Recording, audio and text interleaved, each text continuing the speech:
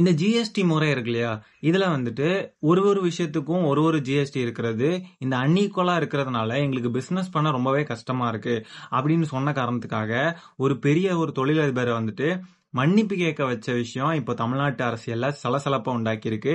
அந்த விஷயத்த பத்தி தான் நம்ம இன்னைக்கு வீடியோல டீட்டெயிலா பார்க்க போறோம். வாங்க என்னன்னு பார்ப்போம். ஸ்ரீ அன்னபூர்ணா அப்படின்ற ஒரு வெஜிடேரியன் ரெஸ்டாரண்ட் உங்க எல்லாருக்கும் தெரிஞ்சிருக்கும். நம்ம தமிழ்நாட்டில் இருக்கு. அதோட ஓனர் திரு ஸ்ரீனிவாசன் அவர்கள் வந்துட்டு நம்மளுடைய ஃபினான்ஸ் மினிஸ்டர் கிட்ட ஒரு கேள்வி கேட்குறாங்க ஒரு ஈவெண்ட்ல அதுதான் இப்போ ட்ரெண்டிங்காக பயங்கரமாக பரபரன்னு பேசிட்டு இருக்காங்க. என்னன்னு பார்த்தீங்கன்னா ஒரு பன்னுக்கு ஜிஎஸ்டி இல்லை ஆனால் ஒரு க்ரீமுக்கு ஜிஎஸ்டி இருக்கு. அஞ்சு பர்சன்டேஜ் ஜிஎஸ்டி கிட்ட போட்டிருக்காங்க க்ரீமுக்கு ஸோ தட் என்ன ஆகுதுன்னு பார்த்தீங்கன்னா க்ரீம் பண்ணுன்னு சொல்லி யாராவது வாங்குறாங்க அப்படின்னு சொன்னா அதுக்கு பதினெட்டு பர்சன்டேஜ் ஜிஎஸ்டி இருக்கு.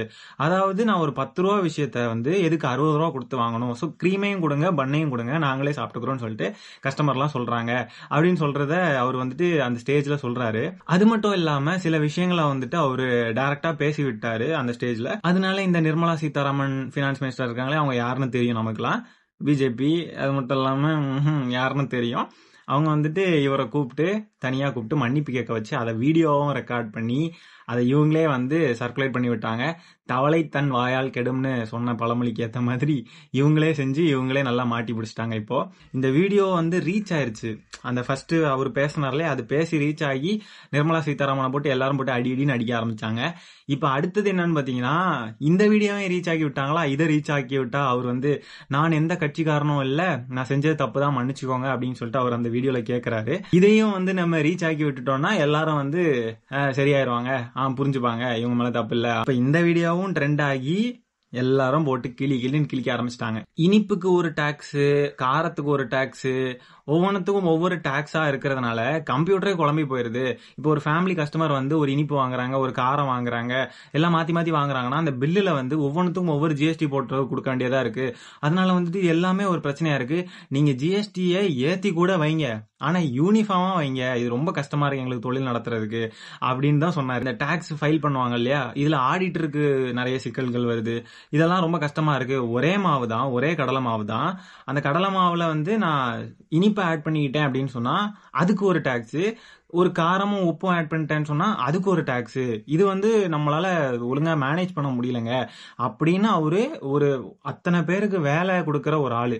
அப்படி ஒரு ஆளு வந்து ஒரு கேள்வியை கேட்கிறாரு இதை வந்து சரி பண்ணுங்க. இவங்க மினிஸ்டரா போய் என்னத்துக்கு உட்கார்ந்துட்டு இருக்காங்க? இவங்க வந்து மக்களுக்கு தேவையான பிரச்சனைகள் அவங்களுக்கு என்ன பிரச்சனைகள் இருக்கோ அதையெல்லாம் பார்த்து அவங்களுக்கு தேவையான விஷயங்களை செஞ்சு கொடுக்கணுன்றது தானே இவங்க அது அதுதானே இவங்களோட வேலை? வேற எதுவும் இல்லைல்ல? அப்படி இருக்கிறப்ப ஒருத்தர் குறை சொல்றாருன்னா அந்த குறை வந்து என்னன்னு கேட்டுட்டு ட்ரிகர் ஆகாம அதை சரி பண்ணலாம். அவங்க என்ன பதில் சொல்லியிருக்கலாம்? சரிங்க நான் பண்ணுறேன் இதை பற்றி யோசிக்கல.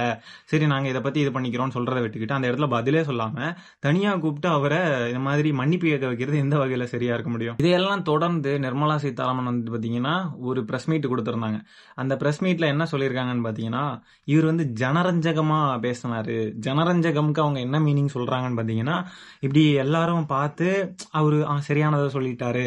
அப்படின்னு ஒரு ஒரு அக்செப்டன்ஸோட பார்ப்பாங்க இல்லையா? அந்த ஒரு சிரிப்பு அந்த ஒரு வைப் அதை தான் வந்து ஜனரஞ்சகமாக வந்து சொல்லிட்டாரு. அதனால எல்லாருக்கும் வந்து ஒரு இந்த ஜிஎஸ்டி சம்பந்தமாக எதிர்க்கிறவங்க இருக்காங்கல்ல இந்த கோஷ்டிகளுக்கு வந்து வா பார்த்தீங்களா இப்படி ஆயிடுச்சு அஹ், வா அப்படின்ற ஒரு ஒரு ஒரு எண்ணம் கிரியேட் ஆகும்ல. அதுக்கு இவர் வழி வச்சுட்டாரு அப்படின்ற மாதிரி ப்ரெஸ் மீட்ல சொல்றாங்க. அவர் கேட்டதுக்கு பதில் சொல்லதுக்கு அவர் கேட்கிற நேரம் அவர் கேட்கறப்போ சிரிச்சுக்கிட்டு இருந்துட்டு பிறகு வந்து இந்த மாதிரி பேசுறது எந்த வகையில சரி சில பேர் வந்துட்டு என்ன எழுத ஆரம்பிச்சிட்டாங்கன்னு பாத்தீங்கன்னா இவர் வந்து ஒரு தமிழ் தொழிலதிபர் அப்படின்றதுனால அவரை வந்து மன்னிப்பு கேட்க வச்சுட்டாங்க இதே விஷயத்த ஒரு குஜராத்தி தொழிலதிபரும் பேசியிருக்காரு ஆனா அதுக்கு எந்த வித பிரச்சனையும் இது பண்ணல அங்க உட்காந்து மேடையில இருந்து சிரிச்சுக்கிட்டு தான் இருந்தாங்க அப்படின்னாங்க அந்த வீடியோவை லைட்டா பாருங்களேன் where government of India is my sleeping partner and I am a working partner with no income. Okay. Thank you. Thank you very much. இப்போ தமிழ்நாட்டில் இருக்கவங்களாம் அவ்வளோ இலக்காரமாக போயிட்டாங்களா இல்ல என்னது?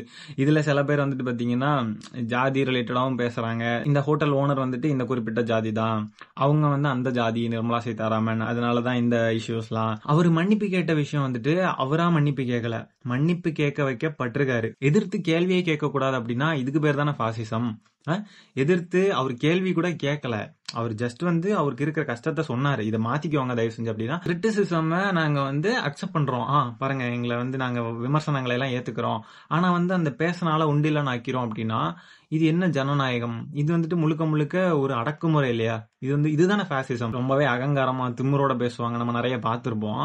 பார்க்காதவங்களா பார்க்காதவங்க இருந்தீங்கன்னு சொன்னால் இவங்களுக்கு டேரெக்டாகவே முட்டு கொடுக்குறவங்களா இருந்தீங்கன்னு சொன்னால் போய் பாருங்கள் எந்த குரூப் வந்து அவங்களுக்கு என்ன பண்ணாலும் அவங்கள வந்து சப்போர்ட் பண்ணுவாங்கன்றது நம்ம நல்லா தெரியும்.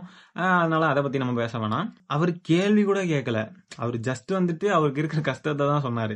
அந்த விஷயத்த புரிஞ்சுக்கிட்டு சரிங்க நாங்கள் வந்து மாற்றிக்கிறோம் அப்படின்ற மாதிரி சரி அங்கே வச்சு சொல்லலைனாலும் ப்ரெஸ் மீட்டில் போயிட்டாவது சொல்லலாம். சரி நாங்கள் இதை பற்றி யோசிக்கலாம் அங்கே வச்சு என்ன சொல்கிறாங்கன்னு பார்த்தீங்கன்னா ஒரு வருஷமாக நாங்கள் இதுக்கு அமைச்சர்கள்லாம் நிறைய பேர் சேர்ந்து இதுக்கு லிஸ்ட்டு போட்டுட்ருக்கோம் ஒவ்வொரு விஷயத்துக்கும்.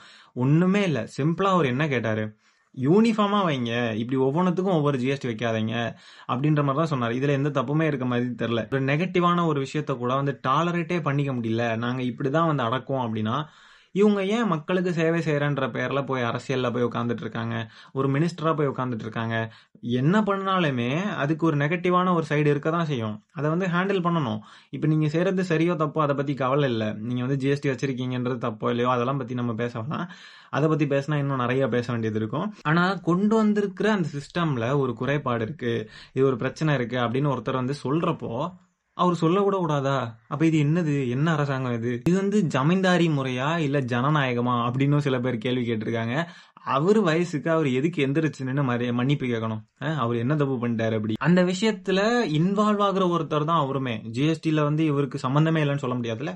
அப்ப இது சார்ந்த ஒரு நபர் இதுல சம்பந்தப்பட்ட ஒரு நபர் எல்லாருமே தான். யாரா வேணா இருக்கட்டும். இல்ல எ- எத்தனை தொழிலதிபர்கள் வந்து இது மாதிரி கேட்டாலுமே நீங்க அதுக்கு பதில் சொல்ல கடமைப்பட்டிருக்கீங்க. இவர் மட்டும் கேட்டாருன்னு கிடையாது. யாரு கேட்டாலும் பதில் சொல்லணும்.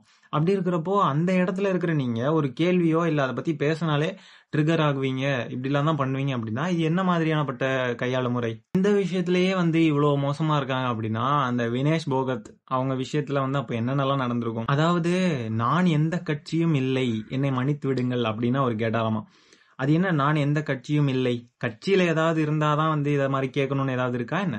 இப்போ நான் பேசுறேன் நான் ஏதாவது கட்சியில இருந்தாதான் வந்து உங்களை கேள்வி கேட்கணும் இல்லை இந்த மாதிரி எதிர்த்து என்னுடைய எதிர்த்தரப்பு வாதத்தை வைக்கணும் அப்படின்ற மாதிரி ஏதாவது இருக்கா என்ன? நான் ஒரு தனி மனிதன். எனக்கு வந்து ஏதாவது ஒரு விஷயம் அஃபெக்ட் ஆகுது. இல்லை எனக்கு இது பற்றி தப்பாக தெரியுது அப்படின்னா நான் எந்த கட்சி சாயமும் இல்லாமல் நான் டைரெக்டாகவே கேட்கலாம்ல. இது என்னோட உரிமை தானே. இது வந்துட்டு எல்லாருக்குமே இருக்கிற ரைட்டு தானே. இதே மாதிரி ஒரு தொழிலதிபர் அவருக்கு வந்து இது தவறாக படுது அப்படின்ற மாதிரி பேசுகிறாரு அது என்ன எந்த கட்சியும் இல்லை அப்படின்ற ஒரு வார்த்தையை அவர் சொல்லணும். எதுக்கு? இது சொல்ல வைக்கப்பட்டிருக்கு.